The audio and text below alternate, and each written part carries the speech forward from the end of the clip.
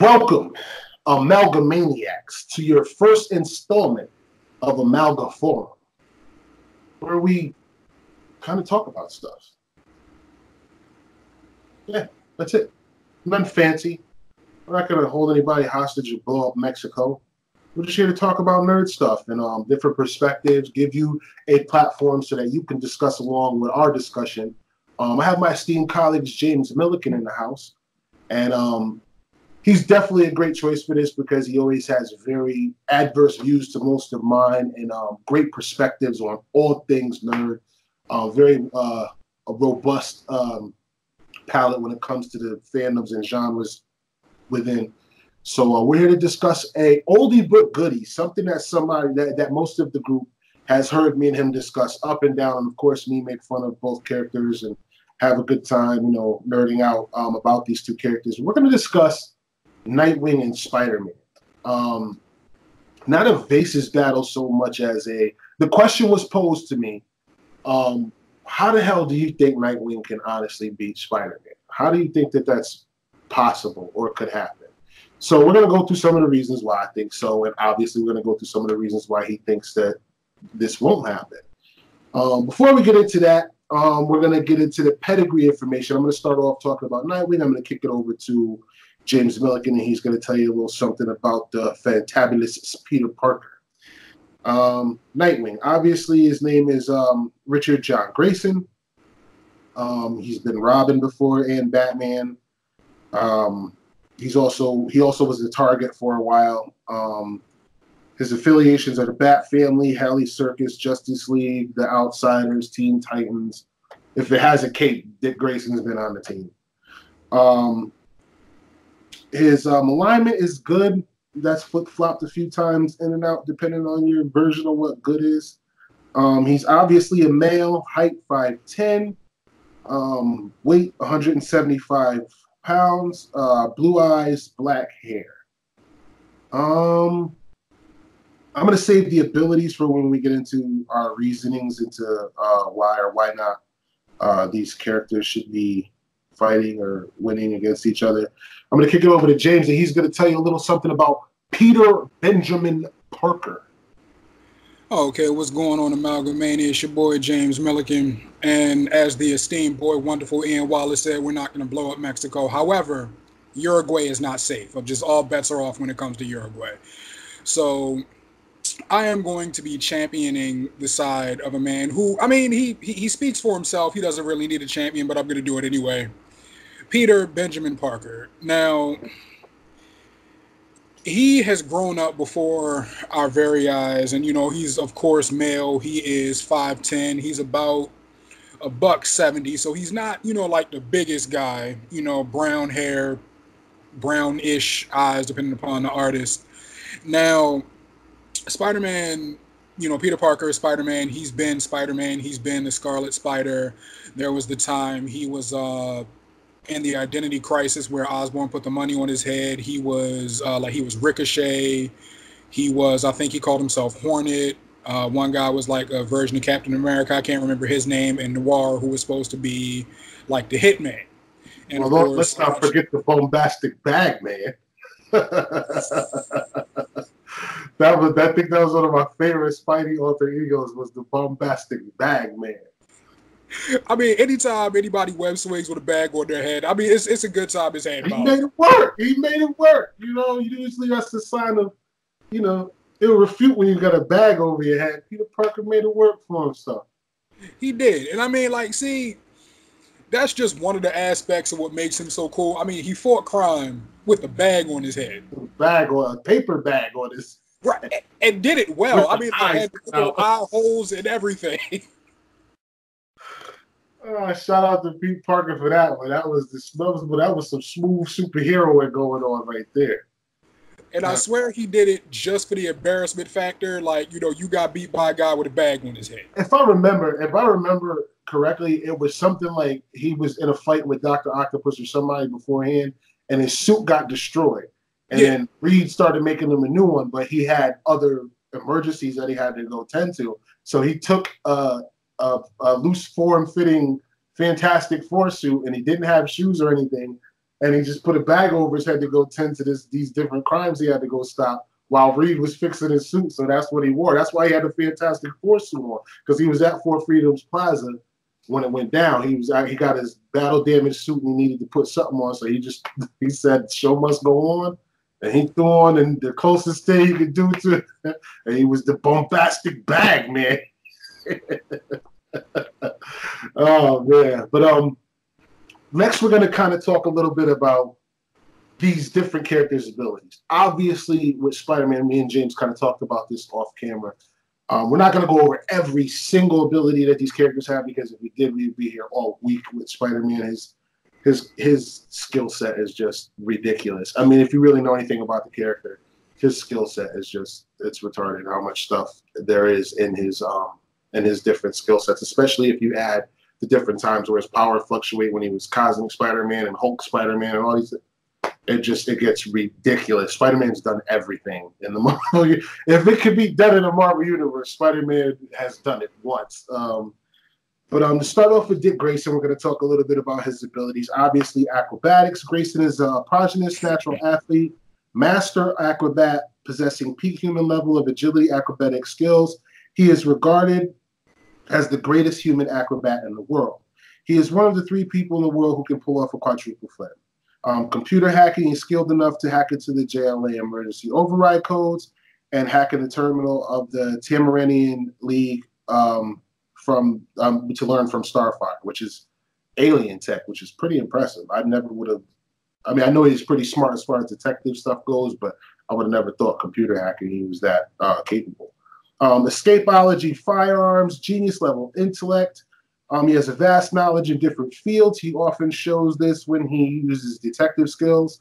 Um, he was intelligent enough to build his own night car, um, built a program and a tech lighter, um, and mentioned he can also fool a polygraph, which is kind of dope. I didn't know that. I mean, I knew they were, um, you know, training ways of deception, but to actually be able to on call fool a polygraph, that's that's pretty dope.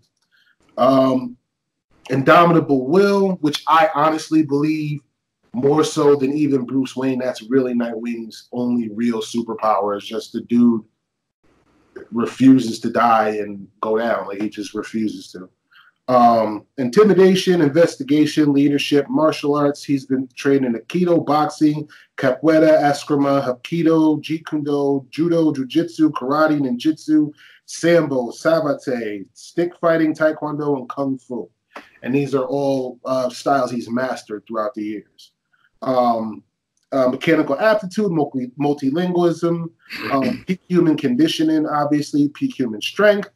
Um, he he possesses enough strength to break um, holographic constructs, Bane's back, um, to throw KG Beast through a concrete wall, um, to throw a refrigerator with exerted effort through a refrigerator, which is that's kind of that's beastly. I didn't. Oh, I remember that. I do remember that. Um, when it was against some bank robbers and they were on a, a, a, refrigerator truck, like there's a bunch of refrigerators on his truck, and the guy kicked it towards him and he actually used it in the leverage and tossed it back at the guy. Yeah. Um, peak human speed, peak human reflexes, uh, all of the peak human stuff.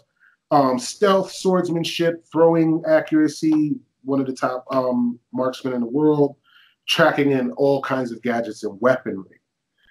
Um, now that you know a little bit about Richard John Grayson, I'm going to kick it over to James Milliken, and he's going to read all that is Benjamin Peter Parker.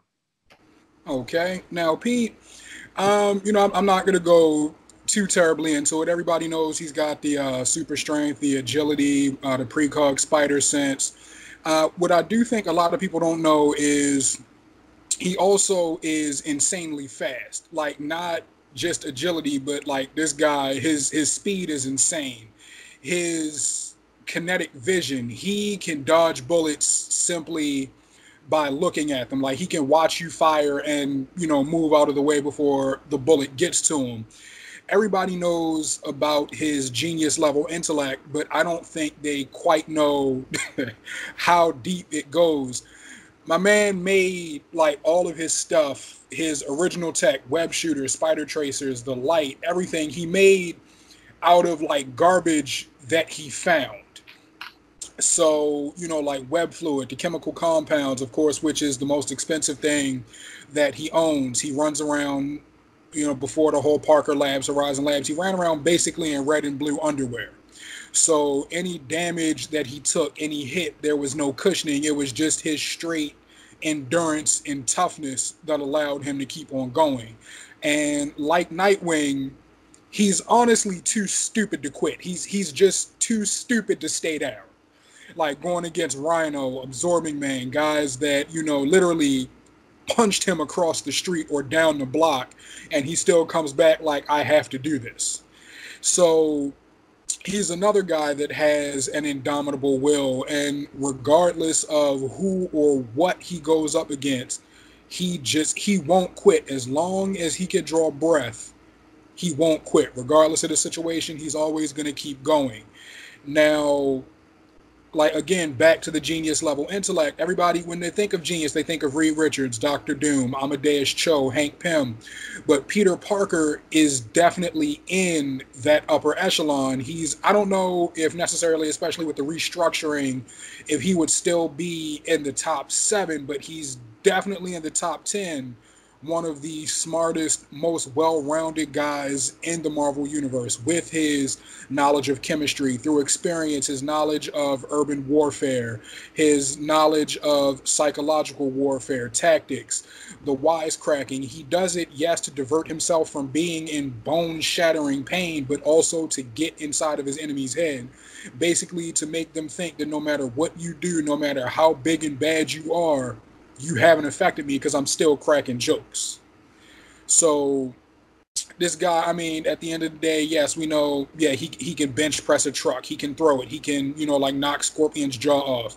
He has, of course, the web shooters and you know the tensile strength of being stronger than steel, all of that. But more so than anything, what truly makes the character work is the man behind the powers, the man behind the gadgets, like his will, his courage, and just his general strength of character, and also, also along with that, his massive guilt complex. So it makes him take on more than he should. Like he takes on the weight of not only the city but the entire world. He takes that all on himself in his way to make sure, you know, basically martyrdom. I suffer so you don't have to. So that's something that, you know, it infuriates me about the character, but it also makes him one of my absolute favorites. Okay. Now that you have a little background on skills and abilities, pedigree information, and who these two people are, we're going to get into the question at hand. Now, the question was posed to me several different times by many, many different members. Ian, what the hell is wrong with you? Why do you think that this is even possible? Um, Spider-Man is just too strong, too fast, too this, too that. And um, I'm gonna, I guess, share with you guys my reasons as to why I think that this goes down a little bit different than some people think. Um, first of all, I I don't think in raw physicality that Dick Grayson stands any chance with Spider-Man. Period. I don't think that in a straight up fight, if these two guys were in boxer shorts and a steel uh, cargo hold, there's no way Nightwing's coming out of there alive. Period. Um, Spider Man's just too strong. Um, he's just too fast. He has the, uh, if not the same, better agility than Dick Grayson has. Um, but there are some factors that bring this down and make them a lot more even. I believe personally. Um, first of all, let's get into the one thing that stands out the most um, the use of gadgets and tech when it comes to these different characters. Nightwing is actually, for bar none, you know, uh, all holds, all no holds bar. He's not really the guy who uses a lot of tech. He's one of the reasons why I love him so much is because he does a lot more with a lot less. Like he, he he's really on hand hands on, and he kind of gets things done with either the eskrima sticks, a batarang or two, and the environment. And he usually gets the job done against foes he's not supposed to be beating. Blockbuster. Blockbuster is in the same strength class as like uh the thing or uh, Solomon Grundy. These are like 80 to 100 ton class strength characters. Why is Nightwing fighting this guy? And how is he even? How is he even? You know, going to battle with a dude that strong? It's because he's you know so agile. He refuses to get hit. Um, a lot of the same things. in talking actually, as James was talking, I didn't realize how you know the martyrdom, um, the inability to know when to stay down. Uh, him and Nightwing are so much uh, alike in that respect. Thinking about the wise cracking, these are all things these characters have a lot in common. Like he does the same thing. He, if any, if anyone knows anything about Batman and Robin's relationship, Robin was a distraction, so Batman could use that distraction to knock the criminals in the room out. As you know, everybody's focused on this little boy in red and green uh, and yellow underwear. You know, running around throwing uh, smoke pellets and uh, boomerangs and stuff at people, and doing flips and stuff and cracking jokes, and that was his thing, and he kept doing it throughout um, most of his superheroing. But the tech, I think, is the only thing that brings them to up to speed, um, or, or on an even playing field. For all of Peter Parker's strength, all of his speed, all of his precognitive uh, uh, spider sensory, he's a human being. He is just a human being, and he bleeds, and he gets tired, and he breaks bones, and you know maybe not as much as a regular human, obviously, because he, you know, his body is trained to be able to lift 10 tons and his, you know, durability is kind of way up there to the point where he can take a lot of damage. He has a damage soak like like it that I've never seen any other character have. Um, Peter Parker can take a ridiculous amount of punishment for an extended period of time before he's out of a fight. Um, and it's kind of it's kind of ridiculous. It's actually one of the things that I always uh, irked me about the character, but it was something that just was standard with him as he came. I've seen Peter Parker get pummeled to the point where I'm like, why is he not dead right now? Like he should be really dead for real, but he's just not. And he here he is shaking and holding his arm and getting up and somehow still alive. And I'm like, just die, dude. Just it's cool. Just die. it's over. The fight's over. He just hit you with the half of the building. Die. And he wouldn't. And um that durability, I think, would be the biggest problem for Grayson to overcome. But my main reasons for thinking that he could win is because obviously the tech. He has standard on his person, he has weapons and gadgets that he's used to take down metahumans twice as powerful as Spider-Man without blinking. Um, he's he carries smoke pellets and gas pellets and his uh, Eskrima sticks uh, shoot out a, a 56,000 volt jolt uh, anytime he wants. I think it will go up to 116,000 if he ups the voltage. Um, he has multiple tasers and uh, cable wires and D-cell cords and all kinds of stuff on his person that make this fight a little bit more closer than I, I think people realize.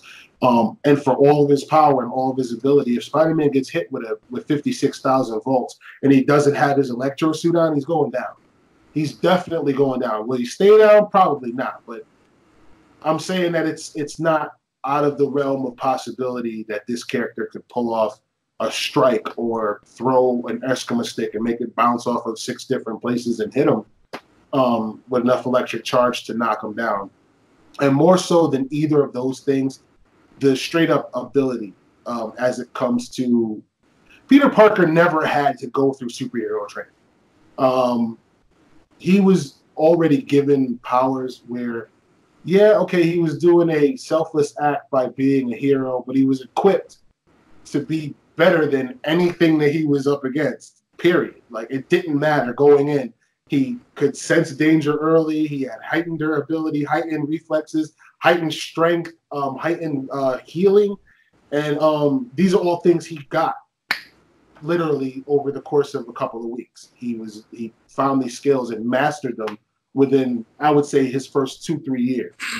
Um, and when I say mastered them, I'm not gonna say he's the Peter Parker he is today. I'm saying he was able to go out and do some serious superheroing and stop some villains and really make a difference and save the world once or twice after about two or three years of taking his lumps. Um, Dick Grayson is a completely different animal. This is a kid who was trained to be an acrobat and a and a gymnast all his life, and then from you know being a child watching his parents die in front of him, was trained by you know Bruce Wayne to be a superhero all you know for the rest of all of his life, and then kind of broke off from that and became you know his own superhero. And the amount of time that it took for Nightwing to become Nightwing is what makes him so dangerous. It has nothing to do with his ability to be able to use these gadgets or how much karate he knows.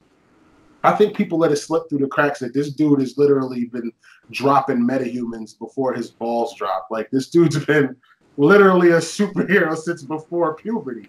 And that's a factor. This is what this man does. He is fearless going up against guys like Ra's al Ghul and Bane and Blockbuster, guys who could kill him, literally kill him as soon as look at him. And he's cracking jokes and you know pulling off these wins against these characters. And if he's not winning, he's escaping Deathstroke, going toe to toe with Death. Batman almost died fighting Deathstroke the first time. Nightwing's done it like six or seven times and gotten away pretty much unscathed every time. That that goes to ability. This dude has been doing this all his life. He's comfortable with fighting these characters who are out of his league. This is what he does. Like how you get up and brush your teeth and comb your hair in the morning. This guy goes out and fights metahumans. It's what he does.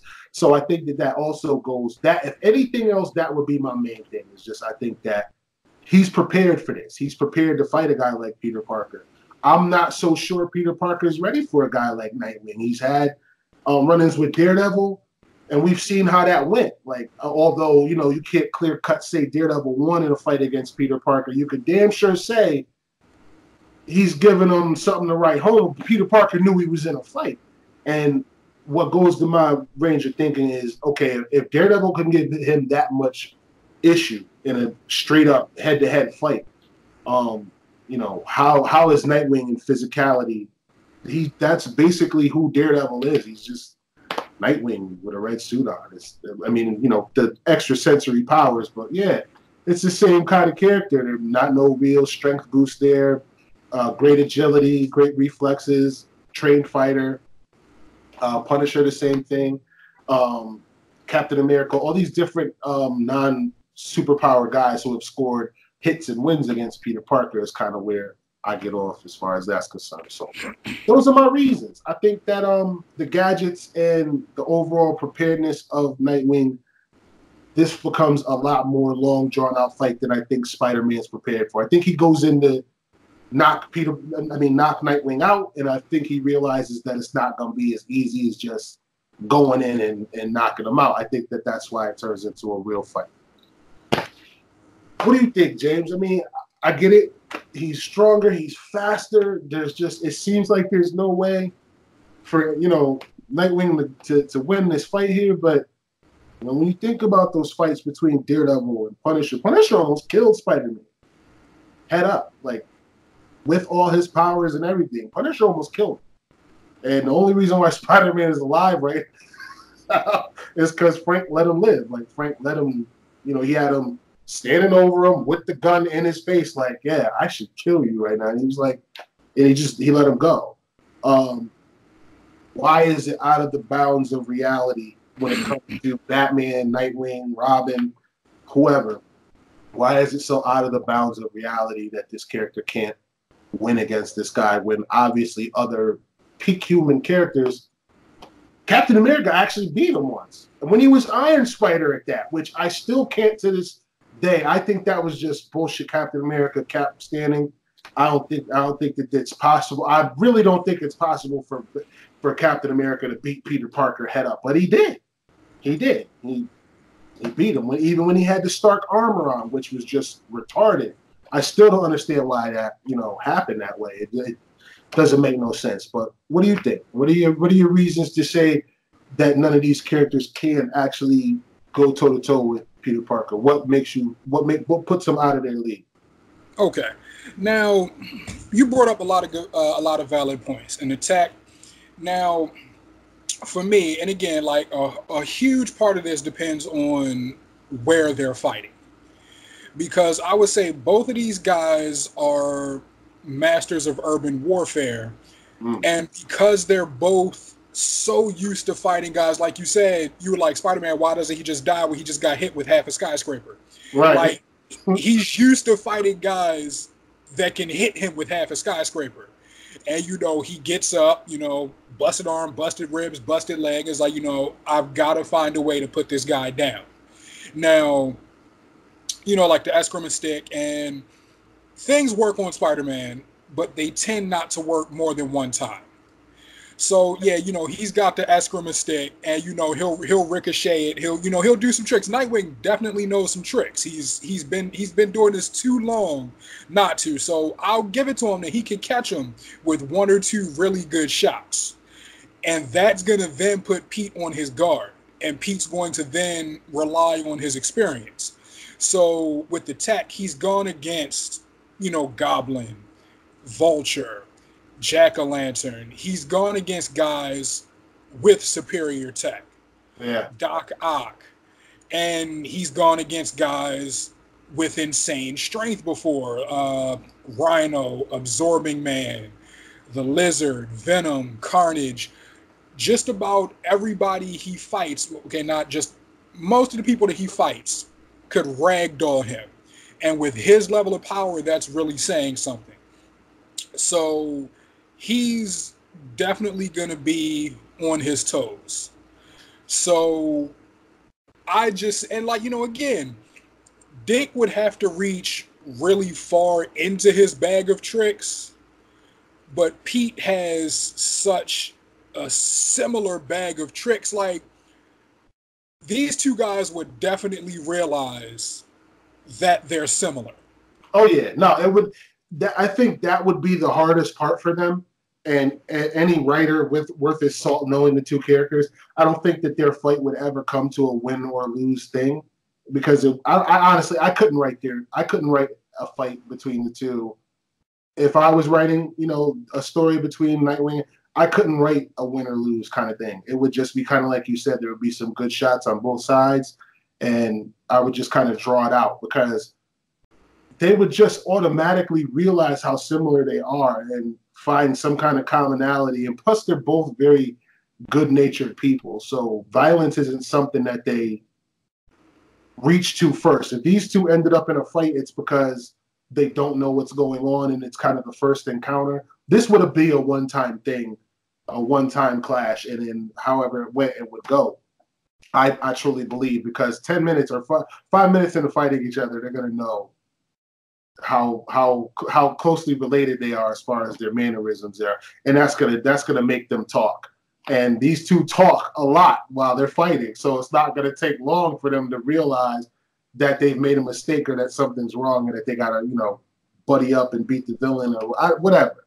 Um, so it would be like a it wouldn't be a situation where like Dick Grayson would be bloodlusted and want out to kill Spider-Man or Spider-Man, unless like one of them was mind controlled this fight would probably end in a draw anyway. I don't think that it would be. I don't got Peter Parker trying to hurt Dick Grayson. And under the circumstances, unless he absolutely felt like he had to, I don't got Dick Grayson trying to hurt Peter Parker. It just doesn't go. And, and both of these guys know how to knock people out without hurting them. So it would go expertly at that. So it would go to them gauging each other's skills, kind of like Captain America and Batman when they met in the DC crossover, where they were kind of like, sparring, engaging each other. It would kind of be that kind of a thing. Um, but if it really had to go down with like these two characters, you know, really fought each other and somebody had to become a victor, it would be Spider-Man nine out of ten times. There's just no way. And the thing that and you and you actually mentioned it because um uh it was it was it's a really good point that I forgot. Um Spider-Man has a a mess a, a muscle memory um reflex in his brain where he doesn't make the same moves twice. Dick Grayson would only have one shot per attack to take Peter Parker down. After that, it would be increasingly hard. It would already be impossible going in. And then for each attack that he try, every trick that he tries, it becomes increasingly harder. That's the thing about Spider-Man. It's not about he's the best fighter in the world, he's the strongest in the world, he's the most agility. It's the dude seldom makes mistakes when he's fighting because he has a, a muscle memory and a precognitive way of not making mistakes twice. Like if Doc Ock knocks him out once in a fight, he's not going to get knocked out like that again. He's just not. It's his body won't allow him to. If you fire at Spider-Man, a gun at Spider-Man, and he's flipping out of the way, and you shoot him once, and you actually actually shoot him, and um, you go to you know spray the gun at him again, you're not going to shoot him the same way twice. It's just the way his body works. He doesn't make the same acrobatic move twice. So yeah, I mean, as far as the superhero or super, I'm sorry, the um, superpower scale goes, Nightwing's way out of his league. But I do believe that Nightwing and other characters like him have a lot bigger chance than most people make up for because of the tech and because Spider-Man can be hurt. He can be knocked out by gas attacks, electric attacks, things of that nature. It would just be a matter of getting, getting, you know, getting the attack to be effective, which greater people have tried and failed. So it's it's it's an uphill battle. I admit that, regardless. And um, what do you all think? Uh, use your thumbs in the comments down below. Give us your ideas of who you think might take this, who you think might be the victor, who you think might, um, you know, have the advantage, or why. We definitely want to hear from you.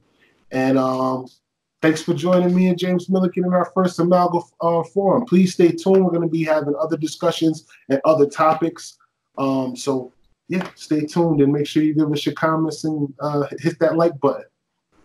We appreciate you as always, and also I just like the, just the main takeaway from this is the fact that Ian said the Spider-Man wins nine times out of ten. That's that's absolutely. just what, what I, I, want to leave. Absolutely, no, yeah, no, you got that. You got that on this one, and I've and I've actually had this discussion before, and, and I I'm, I love the fan. I mean, I love the genre more than I care about characters. Honestly, I love the what this genre of uh you know fandom does for us. So it doesn't really. I would never get like that. Of course, I you know joke around in the group and everything. And of course, Nightwing is my favorite character, so he could beat anybody. But at the same time, I mean, realistically, when it comes down to it, Peter Parker just has a skill set that's they're not in the same range. This is these these characters shouldn't be fighting. If if it's up to me, Dick Grayson is never going to be across from Spider-Man in a versus battle because he's going to lose. Like it's just it's it's impossible. It's like it's just putting two characters that aren't on the same uh, wavelength. But I can't say that. Um, I think it would go a lot different than most people think. So, like like uh, like James said, give us your reasons why you think they may or may not be uh, evenly matched, or more or less so not. And we will definitely be taking all of your uh, consider, um, comments into consideration. Stay tuned for the next Amalga Forum, where we are going to be discussing all kinds of great topics. I'm sure you're going to love it. So stay tuned.